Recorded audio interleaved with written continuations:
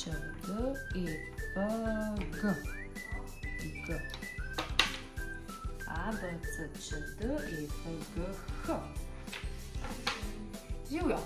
Danes pa se bomo v knjižnici v Ihanu učili o črkah in sicer o branju in pisanju. Ko se otroci učijo pisanja črk, je zelo pomembno, da čim večkrat povadimo eno in isto črko.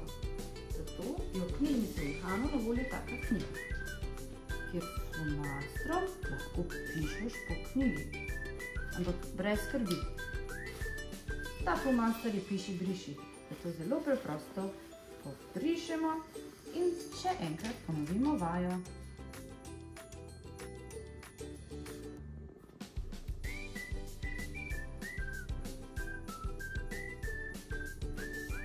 Zdaj pa se igra v igrico Gibalna abeceda. Pridi, poglej, kako se jo igra. Uh. Naslednja črka.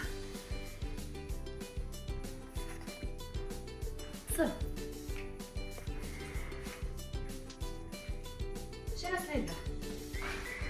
V knjižnici je zelo veliko iger, kjer se lahko učiš tudi črkovanje. Ž, a, žaba, žaba, b, b, žaba. Zdaj pa se učimo brati. Sestaviti moram sličice.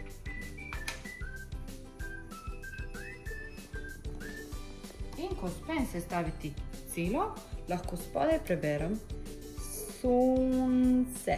Aha, zares, sonce je na sličici.